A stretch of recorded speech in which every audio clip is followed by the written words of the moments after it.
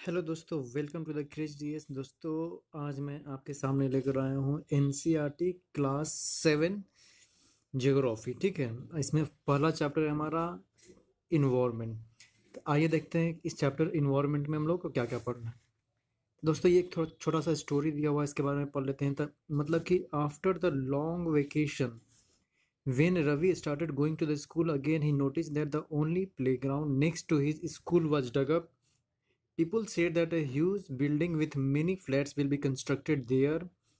Ravi was almost in tears when he realized that the big playground with its soft grass, marigolds, and butterfly is gone forever. He shared his feelings with his classmates in the assembly. The principal too sadly observed, see how our environment is changing.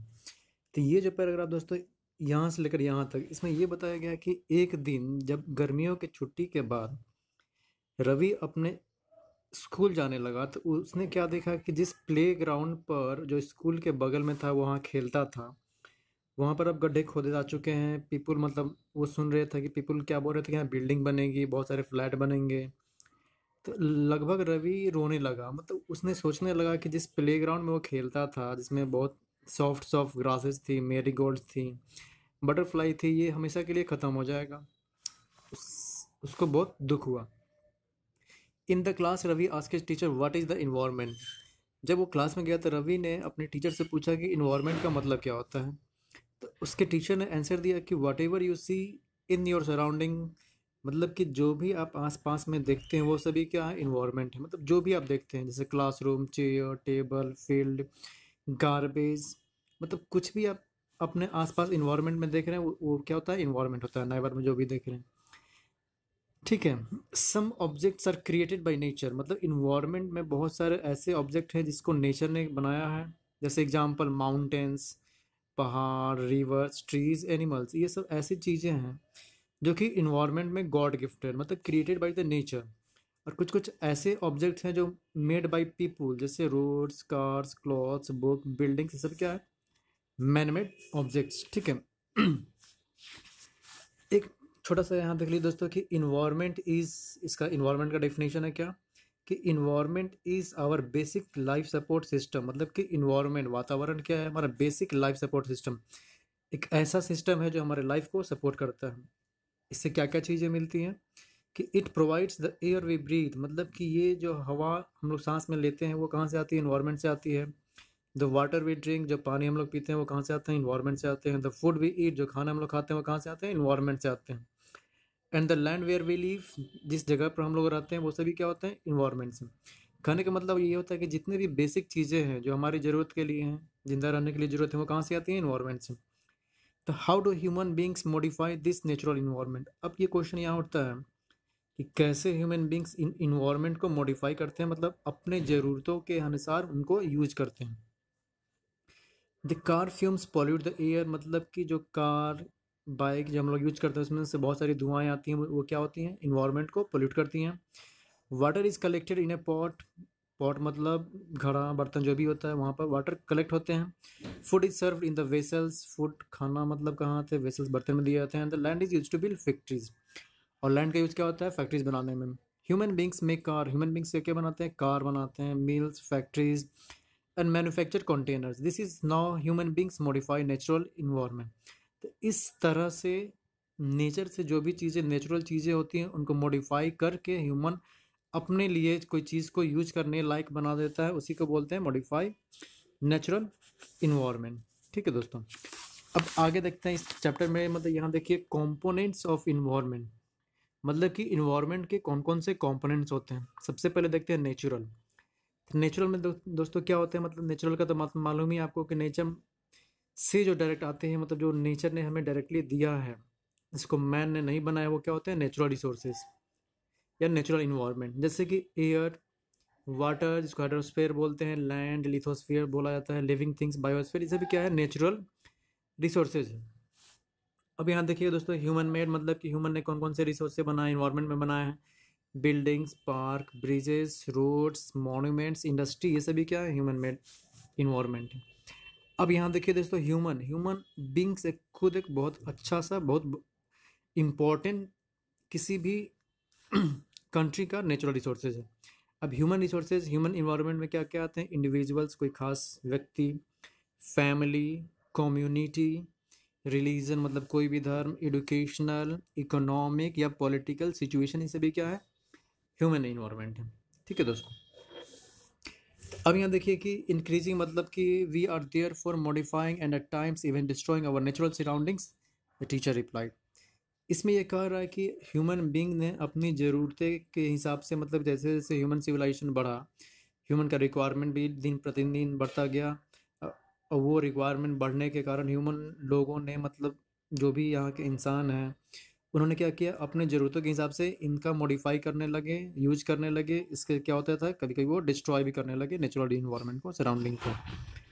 तो from the above of conversations you understand that place people things and nature that surround any living organism is called environment इसके पिछला topic में आप लोगों ने जितने भी environment देखा, उससे आपको ये मतलब यहाँ पर कंक्लूजन निकला कि जो जितने भी प्लेसेज हैं, जगह हैं पीपुल हैं थिंग्स हैं, कोई सामान है नेचर है, जो भी चीज़ हमारे, ये सभी चीज़ें हैं, हमारे सराउंडिंग में, किसी भी लिविंग ऑर्गेनिज्म के आसपास में उसको क्या बोलते हैं? इन्वायरमेंट तो it is a combination of natural and human made phenomena तो ये क्या है? कॉम्बिनेशन है.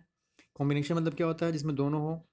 कौन कौन से? ह्यूमन मेड और नेचुरल रिसोर्सेज दोनों का कॉम्बिनेशन है. Environment while the natural environment refers to both, natural environment दोनों होते हैं। बायोटिक भी होते हैं ए बायोटिक भी होते हैं। ठीक है? तो बायोटिक का मतलब दोस्तों होता है कि वैसे चीज़ें जो लिविंग थिंग्स हैं। ठीक है? मतलब जो लिविंग बिंग्स हैं लिविंग थिंग्स है, उसे क्या बोलते हैं? बायोटिक और ए बायोटिक क्या होते हैं? The world of non living elements जैसे लैंड जिसमें मतलब कोई जान प्राण नहीं हो, उसको बायोटिक जिसमें जान प्राण हो लिविंग हो, उसको क्या बोलते हैं? ए बायोटिक ठीक है? Human environment reveals the activities creation and interaction among the human beings जो ह्यूमन इन्वायरमेंट होता है, वो क्या हमारे, हम लोग को बताता है? एक्टिविटीज़ मतलब को क्या वो काम कर रहे हैं क्या उन्होंने बनाया और वो कैसे एक दूसरे से इंटरेक्शन मतलब एक दूसरे के ऊपर डिपेंडेंट है। ठीक है? अब यहाँ देखते हैं नेचुरल इन्वायरमेंट का मतलब और अच्छे से क्लियर हो जाएगा।